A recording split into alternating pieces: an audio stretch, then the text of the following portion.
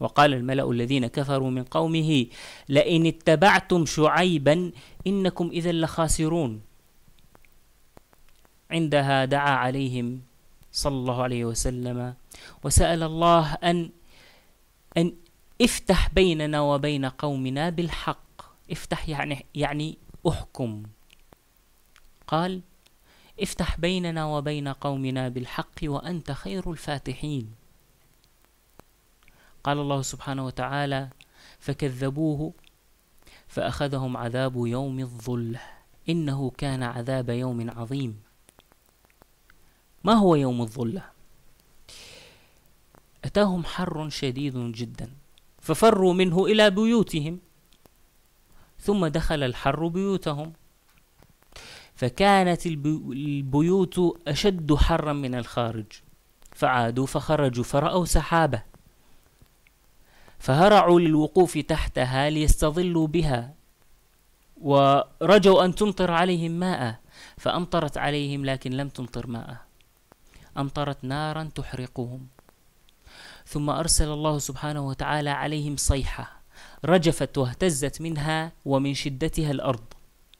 قال العزيز الجبار ولما جاء أمرنا نجينا شعيبا والذين آمنوا معه برحمة منا وأخذت الذين ظلموا الصيحة فأصبحوا في ديارهم جاثمين. وقال سبحانه وتعالى فأخذتهم الرجفة فأصبحوا في دارهم جاثمين. إن الذين كذبوا شعيبا كأن لم يغنوا فيها. أي تهدمت ديار ديارهم وسويت بهم الأرض وكأنهم لم يوجدوا في تلك المنطقة. لم يبق لهم آثار. قال الله سبحانه وتعالى الذين كذبوا شعيبا كانوا هم الخاسرين. فإذا الله سبحانه وتعالى قضى يحق الحق وينصر الله سبحانه وتعالى عباده المؤمنين الذين اتبعوا الأنبياء. قال الله سبحانه وتعالى فإذا جاء أمر الله قضي بالحق وخسر هنالك المبطلون.